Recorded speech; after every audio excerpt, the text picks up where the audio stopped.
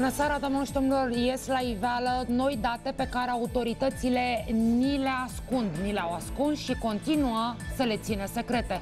De data aceasta nu vorbim de atacuri politice, ci de studii făcute chiar de către medici. Să vă aflați imediat care este situația reală a îmbolnăvirilor cu COVID în România, în ce măsură trebuie să ne temem de valul al patrulea și atenție mare, acest val a venit deja în alte, din alte părți ale lumii. Nu cred că vom fi feriți, însă veți afla imediat ce spun medicii. Dincolo de toată povestea legată de uh, interpretările medicale și științifice, rămâne o situație certă. Am fost mințiți și lucrul ăsta e dovedit în fiecare zi. Despre documentul medical care arată ceea ce devolează ceea ce li s-a ascuns, ne vorbește acum Bianca Chivu. Bună seara, Bianca! Bună seara, bun găsit tuturor! Avem dovada modului în care am fost mințiți de autorități. Ne dăm seama după un an de pandemie că deși cifrele oficiale raportează un milion de îmbolnăviri la nivel național, de fapt statistica stă altfel. Potrivit unui studiu, din uh, un milion de persoane raportate oficial, de fapt au fost de trei ori mai multe cazuri la nivel național. De ce nu au raportat autoritățile corect? Asta pentru că ne amintim că nu se făceau teste destule, iar procedura de testare era destul de greoaie. Persoanele care aveau simptome de coronavirus sau care intrau în contact cu persoane confirmate sunau la direcțiile de sănătate publică și așteptau chiar zile întregi până în momentul în care DSP venea să îi testeze. Mai mult decât atât, autoritățile au promis și anchete epidemiologice. Anchete epidemiologice care însă nu au fost efectuate. Trebuiau uh, să se facă aceste anchete pentru fiecare persoană confirmată, însă au fost cazuri și foarte multe la nivel național, cazuri în care persoanele confirmate confirmate cu coronavirus nu au fost întrebate nici măcar cu cine au intrat în contact direct.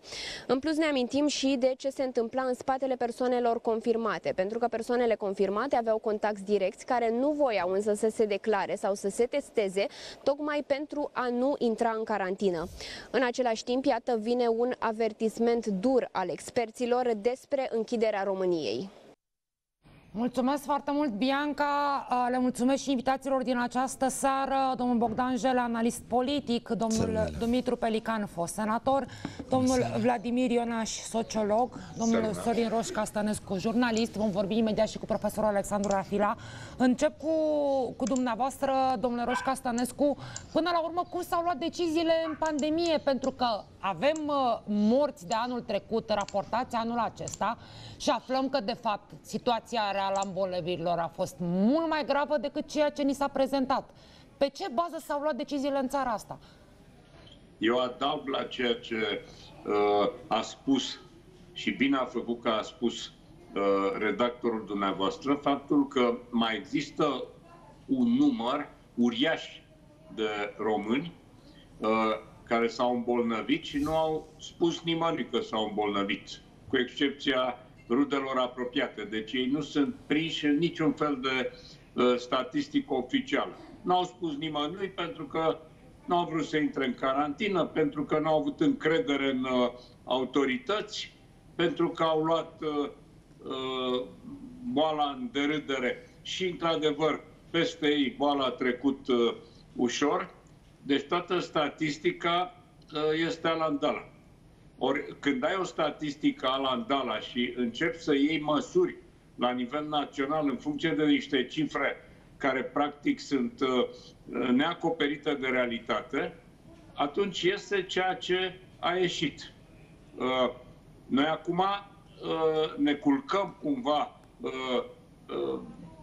în ideea, ne culcăm liniștiți așa în ideea că România nu mai e în pandemie.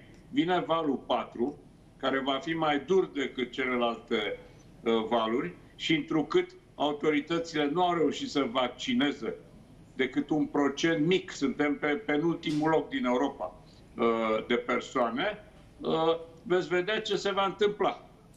Și atunci ce vor face? Vor da vina pe cetățeni? Nu. Cetățenii nu sunt vinovați pentru că ei sunt cei care Uh, le-au semănat uh, această neîncredere și acest scepticism cetățenilor. Uh, Domnule Ionașa, vorbim despre un studiu făcut de către o instituție medicală foarte respectabilă care a furnizat date de-a lungul pandemiei, date care au fost folosite, luate în calcul și apoi confirmate de către autorități și aflăm că, de fapt, milioane de români au trecut prin boală fără ca nimeni să știe. Sau, mă rog, fără ca ei să fie luați în seamă. E o surpriză. Pe toată durata pandemiei, toate sondajele, indiferent de institutul care le-a realizat, arătau un singur lucru, că există de 3 sau de 4 ori mai multe persoane infectate decât cele pe care le raportau instituțiile statului. Uh, din nou, nu e o surpriză că instituțiile pe toată durata pandemiei au lucrat așa cum au crezut de cuvință, fără să țină cont de nimic, de niciun studiu, de nicio analiză. Am spus de nenumărate ori, nu trebuiau să lucreze cu institutele uh, de cercetare sau cu, nu știu, cu psihologi uh, privați. Puteau oricând să apeleze la marile universități din țară să se formeze un grup de lucru cu experți din domeniul sociologiei, al psihologiei și astfel încât să ia toate măsurile având la bază bază studii și analize serioase. Vă aduc aminte inclusiv când s-a luat decizia cu închisul magazinelor la ora 5, uh, s-a spus de către toți cei care conduc țara că nu există studii de mobilitate în România, ceea ce este o declarație în bătaie de joc. Există studii de mobilizare de, referitoare la mobilitatea cetățenilor români la Universitatea Babeș-Bolyai. Am impresia că și cei de la Universitatea din București au făcut. Și chiar dacă nu existau, dacă apelezi la marile universități, într-o lună îți pot oferi date foarte concrete și clare referitoare la anumite subiecte care sunt de interes. Din păcate, au vrut să decidă totul politic și nu, pe, nu având la bază studii foarte serioase. Uh, domnule Pelican, uh, uh, miza anul trecut au fost alegerile. Cred că nimeni nu se mai îndoiește că, de fapt, de la, au avut nevoie să ascundă niște date sau, mă rog, n-au fost interesați să le afle pentru că alegerile trebuiau să țină. Domnule, dar a trecut, alegerile au trecut. Așteptăm să aflăm care a fost situația reală ca să putem să ne pregătim pentru ce urmează. Pare că nu există interes nici în zona asta. Și cred că această lipsă de interes, doamna Ruse, va continua. Eu nu cred că acum, în ciuda informațiilor primite pe care le-a oferit și redactorul dumneavoastră, eu nu cred că știm totul despre ce a fost, cum s-au raportat datele, cum s-au ridicat, cum au scăzut. Clar, în perioada alegerilor, toată lumea a spus că e bine să le amânăm. Evident că nu.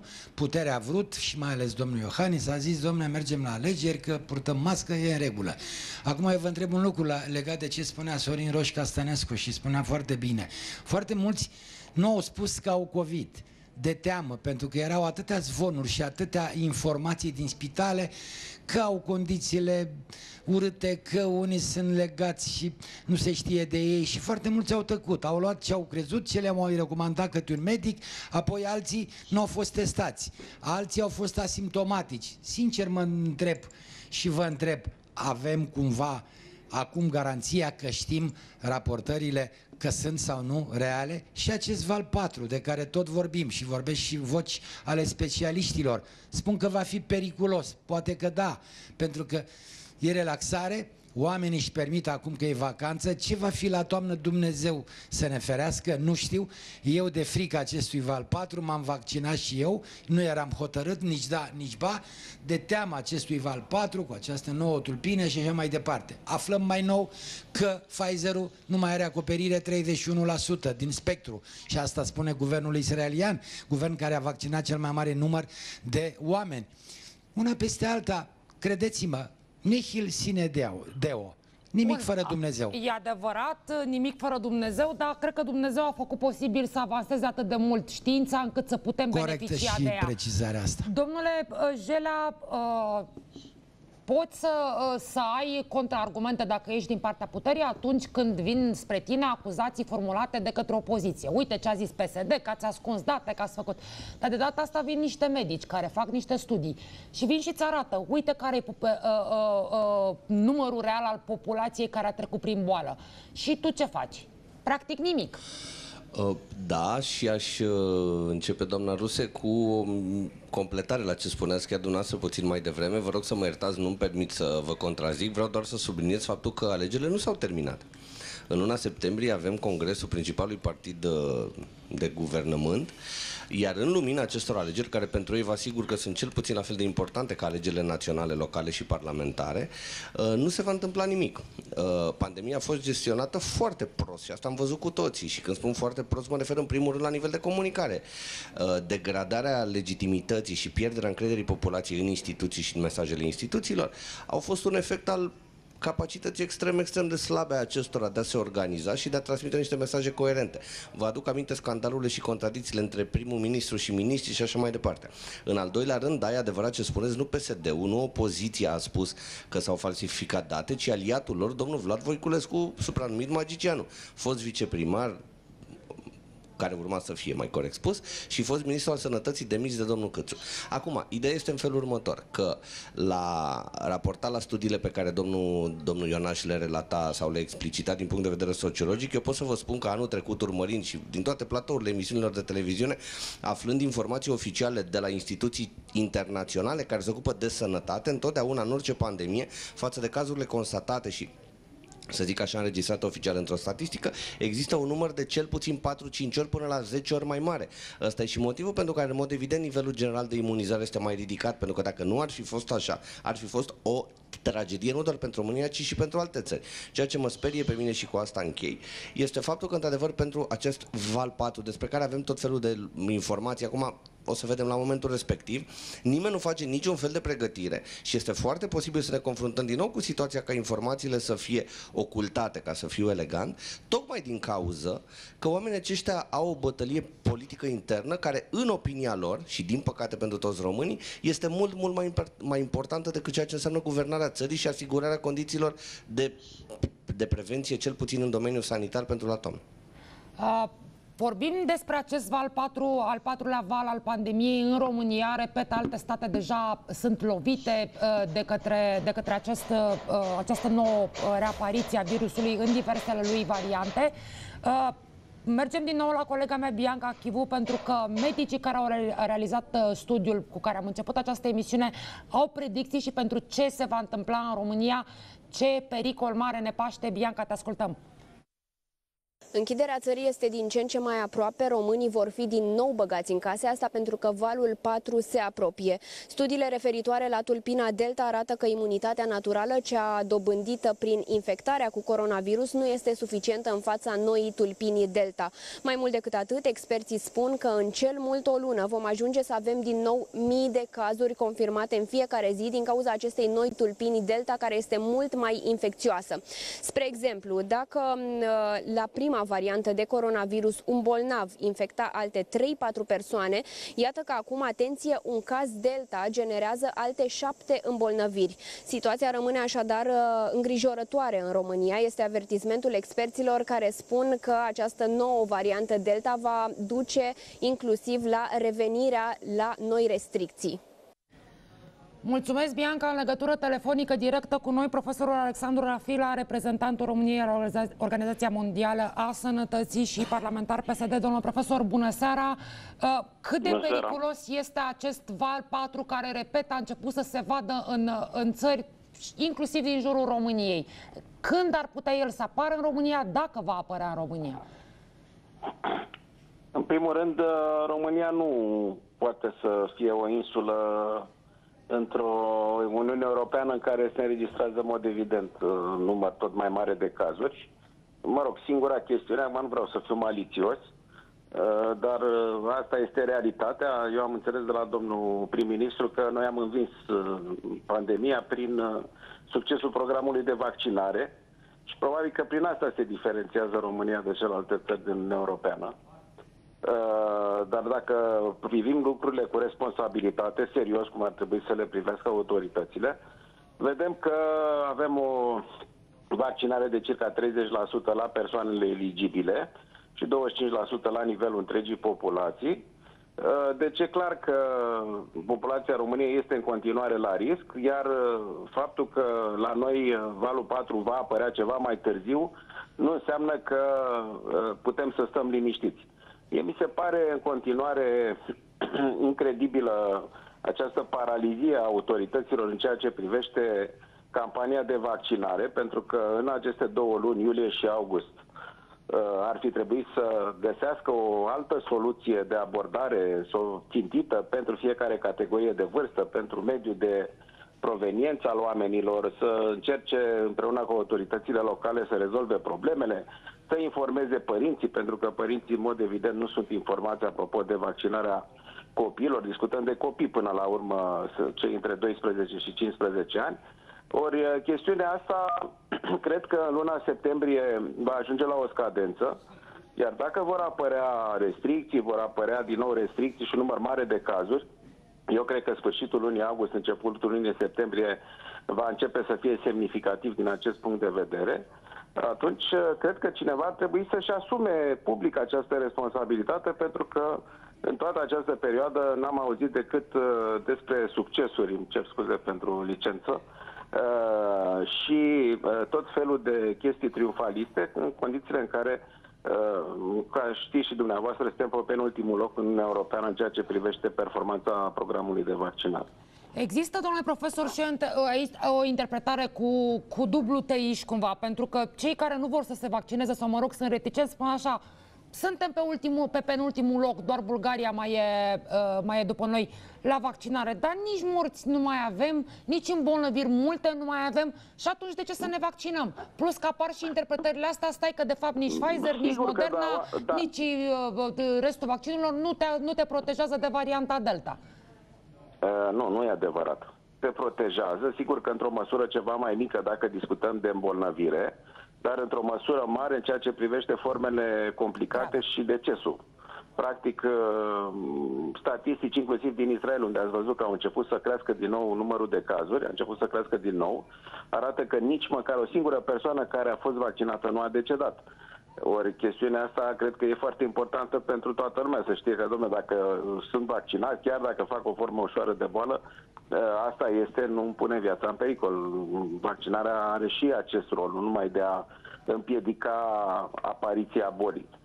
Cam două treimi dintre persoanele vaccinate sunt protejate de apariția bolii în ceea ce privește varianta Delta și cu siguranță vor apărea și alte variante. Vedeți, apare varianta Delta Plus, sunt alte variante care vor veni din America de Sud. Asta este, virusul ăsta este un virus variabil.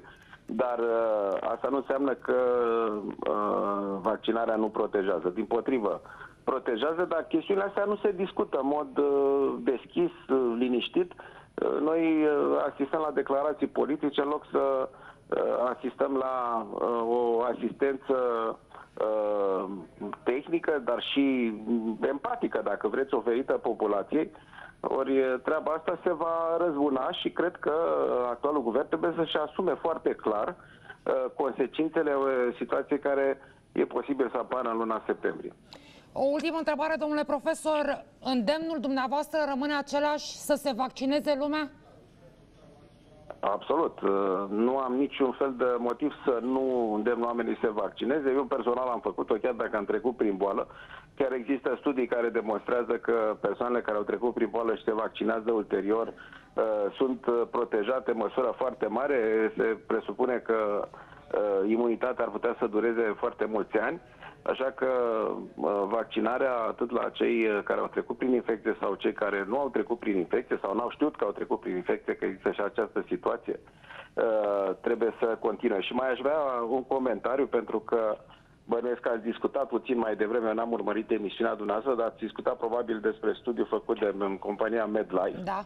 Uh, eu am anumite rezerve în ceea ce privește semnificația statistică a acestui studiu, pentru că a fost făcut pe un număr relativ mic de probe, dar uh, nu înțeleg de ce Ministerul Sănătății nu face un studiu de seroprevalență, așa cum s-a întâmplat acum un an de zile, a făcut Institutul de Sănătate Publică, dar lui trebuie să îi ceară Ministerul Sănătății acest lucru, încât uh, să știm exact cum stăm din punct de vedere al uh, Uh, prezenței anticorpilor protectori în rândul populației, combinând cele două cifre, persoane vaccinate și persoane trecute prin boală. Noi estimăm că sunt de 5 ori mai mulți care au trecut prin boală probabil decât uh, cei care au fost înregistrați, adică probabil în jur de 5 milioane, cel puțin au trecut prin boală, dar să nu uităm că și cei care au trecut prin boală, în bună măsură, unii dintre ei cel puțin, uh, s-au vaccinat. Așa că ar trebui să știm exact, printr-un studiu semnificativ statistic care implică niște uh, mii sau zeci de mii de persoane care trebuie testate, încât să știm în fiecare regiune din țară cum stăm cu, uh, cu protecția, pentru că eu sunt convins că în București este o situație, probabil în Suceava e cu tot o altă situație. Și atunci uh, inclusiv campaniile de informare sau efortul pe care îl fac autoritățile ca să convingă oamenii să se vaccineze ar trebui să fie direcționat în acele zone în care uh, uh, protecția populației este mai mică. Așa se va întâmpla. Valul 4 va afecta mai ales acele comunități din păcate, care, în care protecția prin trecerea prin boală sau prin vaccinare Uh, uh, este mai mică. Domnule profesor, vă mulțumesc foarte mult pentru aceste precizări.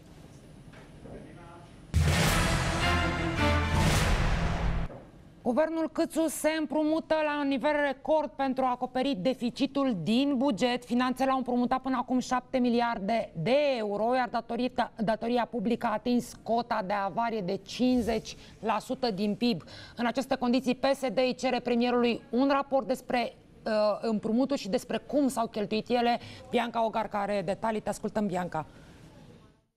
Bun găsit, anul acesta Ministerul Finanțelor a împrumutat de pe piețele externe 7 miliarde de euro, iar aceste împrumuturi au fost făcute pentru a acoperi deficitul bugetar, care anul acesta este de 80 de miliarde de lei, dar și pentru a achita anumite datorii care au ajuns la scadență. Ei bine, potrivit Ministerului Finanțelor, uh, guvernul are nevoie anul acesta de împrumuturi în valoare de 130 de miliarde de lei.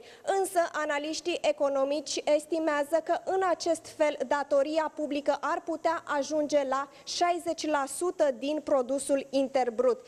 Însă, legea fiscalității bugetare prevede faptul că în cazul în care datoria publică depășește 55% din PIB, atunci guvernul este obligat să înghețe salariile bugetarilor, să înghețe pensiile și de asemenea sunt luate în calcul și alte tăieri masive.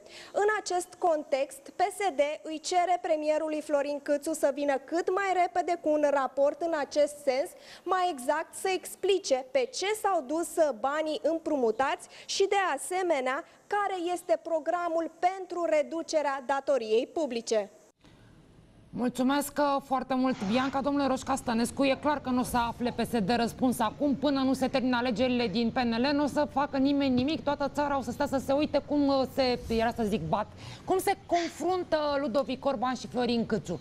E, da, problema împrumuturilor este chiar una, una uh, reală și una extrem, extrem de importantă pentru că antrenează nu doar uh, prezentul și viitorul imediat, ci și viitorul generațiilor care vin după noi ce ar trebui să ne sperie mai mult?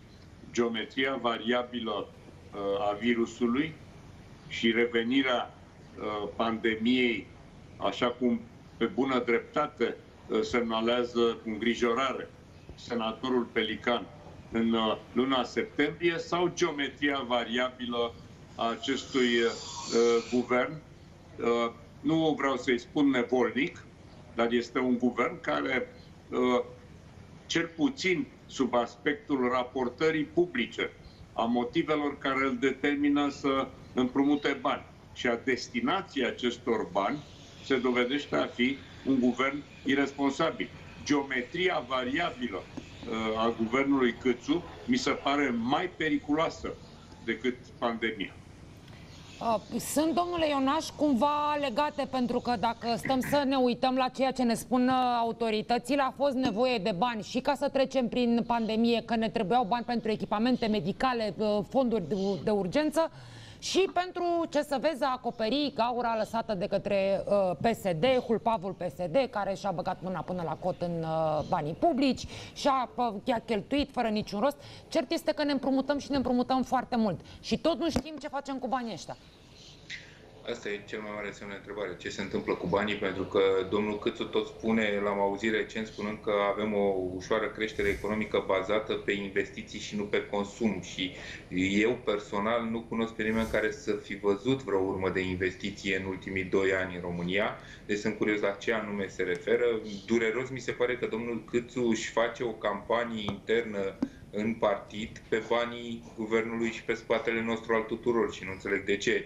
Dumneavoastră voiați să spuneți că se bat cei doi. Nici măcar nu e o bătaie, o păruială din aia de grădiniță uh, sinistră la care ne uităm cu toții și ne întrebăm de ce trebuie să fim martorii unei astfel de întâlniri penibile, pentru că până la urmă e penibilă. Domnul Câțu ar fi trebuit să explice foarte clar de ce, de exemplu, uh, după ce de un an laudă într-una Uh, evoluția din punct de vedere financiar a României, schimbă ministrul de finanțe. E un semn de întrebare cu ce se întâmplă la finanțe? Sunt probleme? Mă așteptam ca președintele României să pună această întrebare, că până la urmă domnia sa nu e parte din păruiala asta, dar văd că și-a asumat să fie și el parte și nu înțeleg de ce, pentru că avea cu totul alt obiectiv în toată lupta asta, dar ar trebui să explice foarte clar, nu celor de la PSD, nu colegilor de partid, nu cetățenilor, ce s-a întâmplat cu banii pe care i-am împrumutat? Unde s-au dus? Ok, am plătit alte împrumuturi.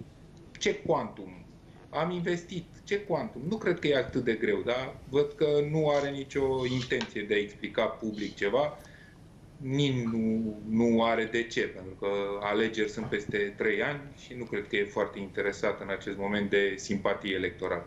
Pentru că a spomenit de uh, demiterea ministrului de finanțe, fostul premier Mihai Tudose îl acuză pe Florin Câțu că l-a demis pe ministrul de finanțe pentru că a refuzat să direcționeze bani către aleșii locali ai PNL. Mai mult fostul premier susține că România este extrem de aproape de criză și că actualul guvern nu face absolut nimic să o evite. Haideți să vedem. Motive de demitere, eu cred că sunt suficiente din punctul de vedere al lui Câțu.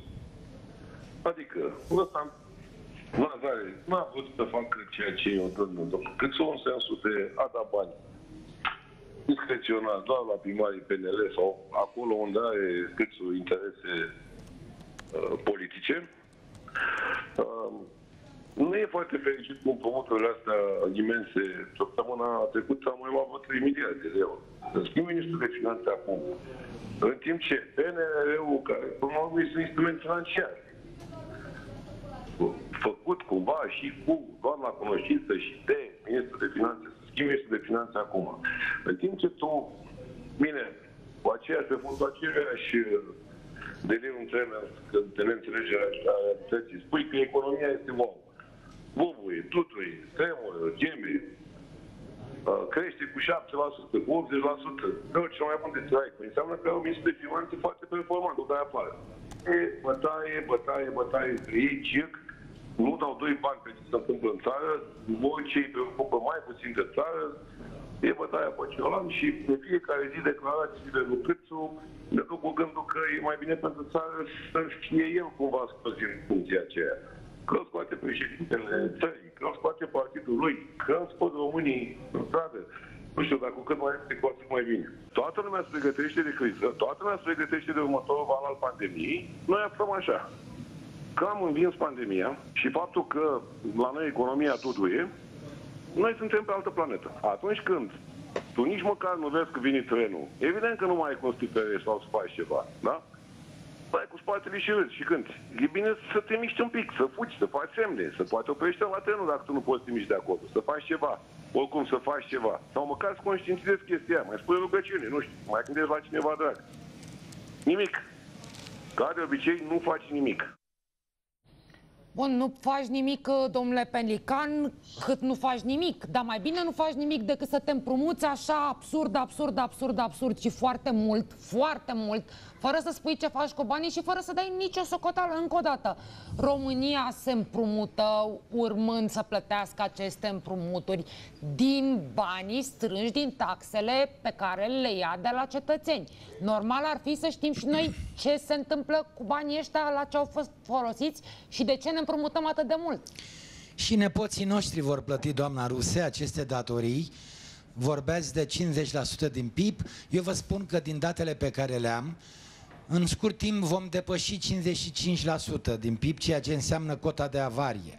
Ce facem cu banii nu știu, pentru că vă mărturisesc ca un ordonator terțiar de credite, nu avem bani nici să angajăm, nu avem bani nici să cumpărăm nimic, nici pentru obiecte de inventar, e buget de sărăcie, ne împrumutăm, dar unde se duc banii nu știu. La pensii nu se întâmplă nimic, chiar și eu ca simplu cetățean sunt foarte curios să știu unde se duc acești bani pe care îi luăm cu titlul de împrumut. Și dobânzile nu-mi plac, sunt destul de mari, dar acum fie vorba între noi dacă tot mai uh, zice PSD-ul câteodată câte ceva și replica PSD-ului e foarte palidă, poate să-l cheme în Parlament să explice premierul de ce se împrumută și unde se duc acești bani. Dar PSD-ul e foarte timid. Uh, haideți să vedem ce spune și Marcel uh, Ciolacu, uh, liderul PSD, estimează, anunță că uh, o să vină o viață mult mai grea, mâncarea este deja mai scumpă, salariile vor fi înghețate. Uh, uh, cel puțin viziunea pe care o are domnul Ciolacu este că peste România va veni urgia, să vedem. Până în acest moment au împrumutat într-un an și jumătate toată această guvernare PNL mai nou și PNL și plus și cu toții grămadă acolo, toți pierzătorii, au împrumutat 50 de miliarde de euro. Dacă vor mai împrumuta încă 15 miliarde cu PNRR-ul, datoria țării, datoria externă a României, a noastră a tuturor. În momentul acesta, noi ne situăm la o... împrumutăm cam 2500 de euro pe secundă.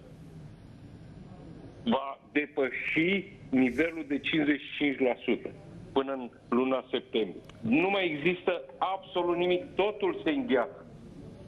Și salarii atât la, la privat cât și la sistemul public. Este o lege, este legea 69, este explicită din 2010, care spune acest lucru. Deci nu, România nu mai are scăpare în acest moment. Noi trăim într-o guvernare de austeritate și o guvernare a scumpirilor. Pentru că știm cu toții că prețul energiei electrice s-a majorat în acest moment cu până la 13%.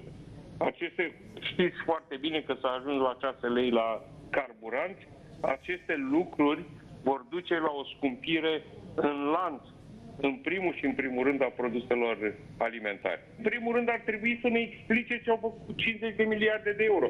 Ați văzut dumneavoastră vreun spital, vreun lot de autostradă nou, vreun sistem de irigație, vreun sistem, vreun proiect de infrastructură din acești 50 de miliarde. Adică nu poți să, nu poți să împrumuți numai pe consum în acest moment ei au un deficit de cont curent și împrumută acești bani numai și numai ca să-și acopere neputința de colectare la bugetul, la bugetul de stat. Deci unde nu poți, o economie nu funcționează numai ca să împrumuți, să acoperi cheltuielile bugetare. Au vorbit că, domne, PSD-ul a angajat nu știu câți oameni la buget. Eu am angajat încă peste cât a fost angajat la Au vorbit de reforme. În PNRR au vorbit de reforme, ele sunt total criticate de comisarii europeni și le întorc toate hârtiile în cap. Unde vor să trimeate această țară? Aici este marea întrebare. Domnule Bogdan Jara, sigur că e frumos să pui așa întrebări uh, cu bătaie lungă, filozofice, unde o să ajungem cu țara, până unde o să ajungem cu țara, hai să vedem cum trecem de ce urmează, că nu urmează ușor, urmează greu de tot. Păi nu urmează, da, sunt de, de acord cu dumneavoastră și pentru telespectatorii dumneavoastră, pentru că e o discuție foarte serioasă, îngăduiți-mi să explicăm puțin ca să înțeleagă oamenii care e situația cu datoria asta externă. În anul 1990, în luna ianuarie, România nu avea datorie externă. Ulterior, în următorii 29 de ani, până la, inclusiv, deci până la finalul anului 2019, când am fost blagosloviți cu această guvernare, să nu uităm că e o guvernare care are deja, deci din luna octombrie, dacă nu greșesc, 2019 până acum sunt aproape 2 ani, un an și 8 luni, da? Uh, până în anul 2019 inclusiv, România avea o datorie externă de 50 de miliarde de euro. Asta înseamnă aproximativ 25%, un sfert din produsul intern brut. România are un produs intern brut de aproximativ 200 de miliarde de euro. Într-un an și 8 luni, până astăzi, România s-a împrumutat cu suma cu care în total se împrumutase în 1990 până în 2019, adică încă 50 de miliarde de euro, ajungând astfel la aproximativ 50% din produsul intern brut. Într-adevăr, România are acea legislație specifică ce spune că la 55% datorie publică externă se îngheață anumite tipuri de cheltuieli.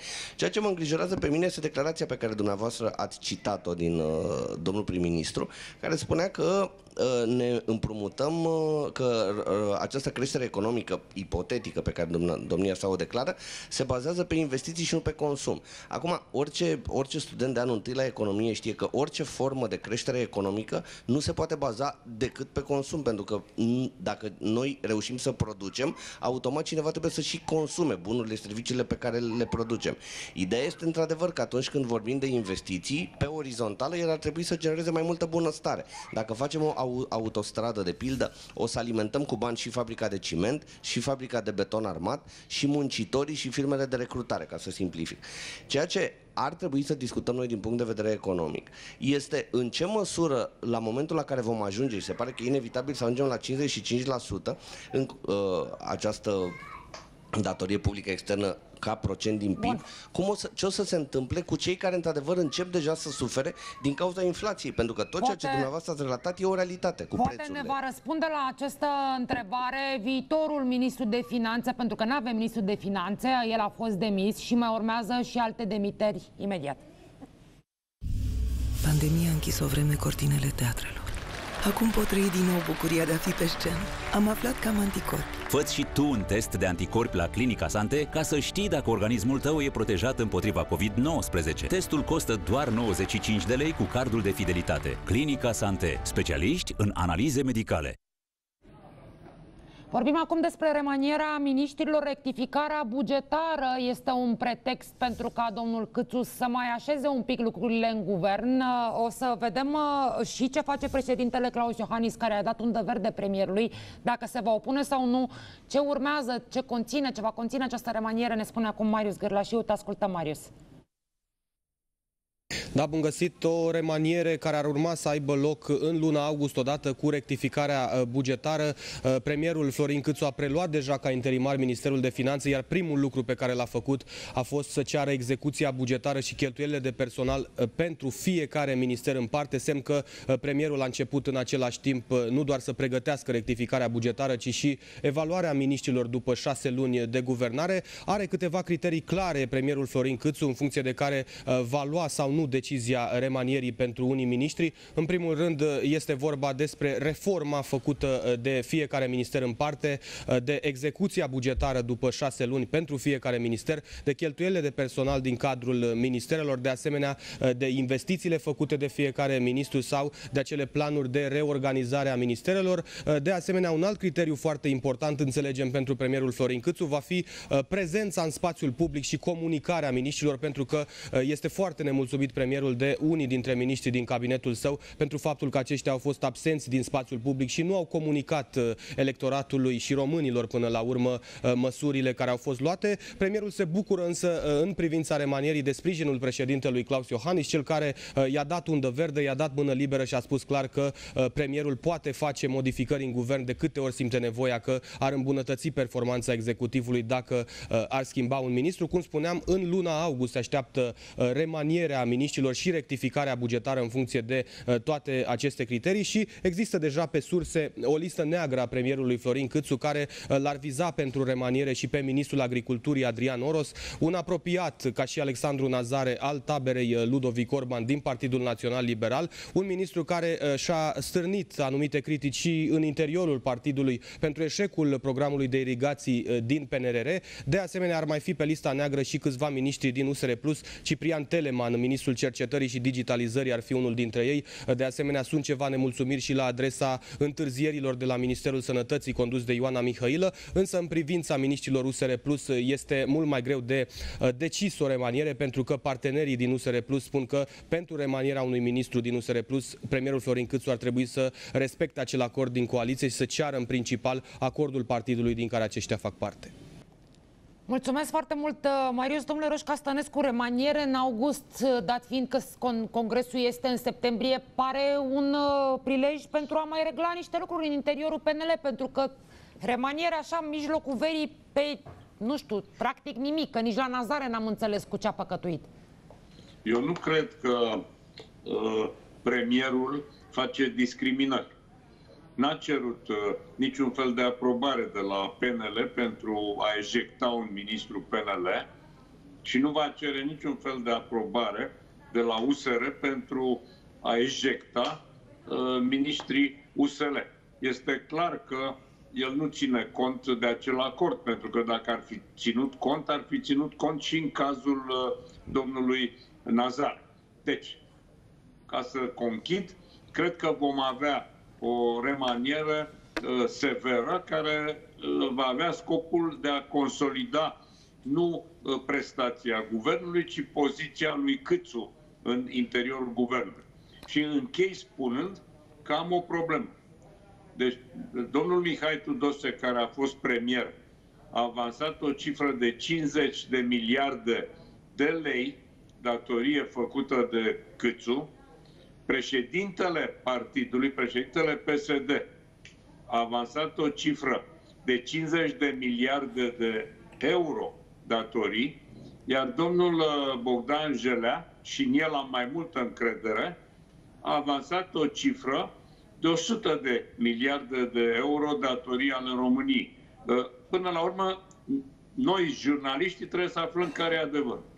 Știți cum e, domnul Roșca Stănescu, după, primul, după primele 10 miliarde de euro nu mai stai să numeri, că e practic Îmi îngăduiți doar 10 secunde, doamna Lili Ruse? Vă rog, 10 secunde. 10 secunde pentru maestru Roșca Stănescu, pe care îl apreciez în mod deosebit. Repet, la ora asta, pentru a ajunge la 50% unde suntem, avem deja o datorie de 100 de miliarde de euro, care înseamnă fix jumătate din produsul intern brut, care e undeva la 200-200 și un pic. Până în 2019 acumulasem 50 de miliarde, deci 25% din 200, astăzi am ajuns la 100 de miliarde, 50% din 200 de miliarde. Așteptăm și noi să ne spună... Po- poate află și domnul Ciolacu. Nu, și poate ne spune și nou, nou ministru de finanțe care o fi fiind el. Domnule Ionaș, contează uh, electoral, un, pentru electorat, nu electoral. Uh, schimbările astea făcute în miez de vară? Pentru electorat nu, contează pentru, pentru grupările astea din partid, pentru fiecare județ, cine are mai mulți miniștri, în funcție de cine pe cine susține. Acum, eu nu vreau să fiu răutăcios, dar mie mi-e greu să cred că va face schimbări de miniștri în luna august, pentru că la remaniere are nevoie de semnătura președintelui, dacă nu mă înșel, nu? Și în luna Vai, august ce e cam- sugerați! Ce sugerați aici? Că nu sunt de acord de nicio culoare, zău! Păi a semnat și deplasare în ultima remanieră. Sugerați că președintele și-ar lua concediu în august în pandemie, domnule Ionaș. Da. Nu cred așa, nu, nu cred. Eu asta cred, nu știu, acum poate mă înșel. Poate, poate semna doamna Rufe și din concediu, cum a și precizat Sorin Roșca Stănescu, nu asta e problema, eu zic Nu, altceva. nu, nu, vă pripiți că trebuie să depună miniștrii, noi miniștrii jurământul și trebuie să fie domnul Iohannis, că nu e merge adevărat. să vedem. Uh, Eu zic că până nu va fi congresul, nu cred că va mai schimba pe cineva, poate pe domnul Oros de la Agricultură. Eu cred că așteaptă să vadă rezultatele de la congres, deși lucrurile par a fi clare, domnul Câțu va fi și președintele PNL-ului, așa decur lucrurile și de-abia după aceea când va avea și cuțitul și pâinea, de-abia după atunci va începe să taie pâinea pe felii. Asta cred eu. Păi, ce frumos ați spus să taie pâinea pe felii, dar pe unde ajung feliile la, domnule senator Pelican? La cine ajung ele? Feliile vor ajunge la cei uh, care conduc filialele și uh, care filiale l-au ales în funcția de președinte al PNL-ului. Să știți că eu când ați zis felii m-am gândit că ajunge la noi populația, adică Oh. luați pâine cum ar veni, că circul aveți deja, acum a venit rândul pâinii. Uitați, uitați, Vom doamna avea Ruse. remaniere pe pâine. Remaniere pe pâine, da. Bun, uh, vreau să totuși și să nu ne întristăm pentru că e bine să ne uităm un pic spre viitor, ne uităm la noua generație a Partidului Național Liberal, a fost o gală cu mare fast a Tineretului Național Liberal, tinerii au excelat prin ținute, de fițe și uh, tot felul de, de uh, uh, haine de, de firmă și stiluri deosebite, doar cu gramatica au stat cam prost imaginile.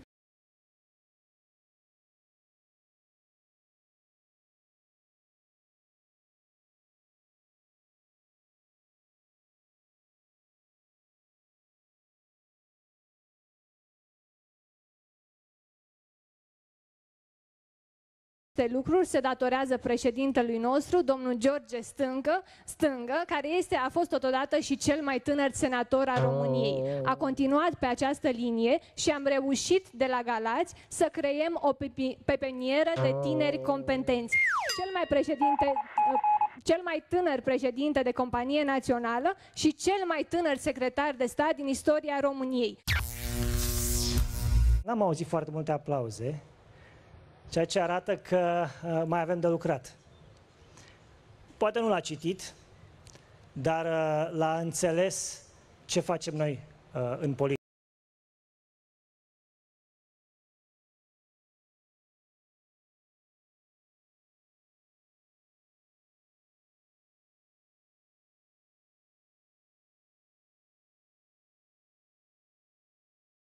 De asemenea, mai împreună putem să creăm România liberală, România în care, la care cu toții visăm de atâta timp. Deținem de asemenea cea mai importantă resursă a acestei țări. Uitați-vă la voi, resursa umană. Uitați-vă în jur. Noi suntem generația altfel. Să avem un viitor liberal, să avem un viitor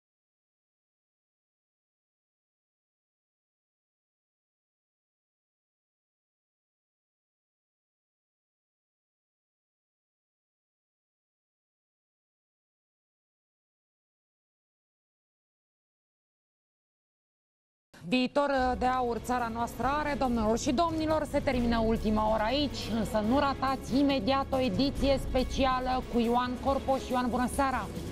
Bună seara, Lili, doamnelor și domnilor! Explodează dosarul furtului de la alegeri. Clotilde Armand audiată, avem informații obținute în urmă cu foarte puțin timp în exclusivitate. Martorii din dosar ni se alătură, vor face dezvăluiri scandaloase, ce s-a întâmplat exact, totul în direct în doar câteva momente. Judecătorii au decis ce se întâmplă exact cu Clotilde Armand, doamnelor și domnilor. O să vedeți și documentele din instanță. În tot acest timp, sectorul sufocat din nou în gunoaie, șobolani, oamenii spun așa, negazează, nu mai putem, suntem pur și simplu sufocați. Doamnelor și domnilor, în tot acest timp, nici nu e de mirare. Propaganda își face treaba, atacă, martorii sunt hărțuiți, amenințați. Venim așadar cu toate dezvăluirile în doar câteva momente. Clotilde este disperată, au prins-o cu minciuna. Doamnelor și domnilor, exact ce s-a întâmplat în intersecția în care spune ea că a fost agresată, veți afla totul în această seară. Mergem și la dosarul morții campionului României, dovezile care incriminează structurile lui Arafat și nu ratați, bomba serii, vedeți pe micile ecrane, ministrul înjunghiat în propriul cabinet. Vorbim despre un ministru, doamnelor și domnilor, din actualul guvern, din actualul cabinet, ce s-a întâmplat exact acolo, momente de groază în birou pentru salvarea ministrului. Avem chiar mărturia lui în exclusivitate imediat.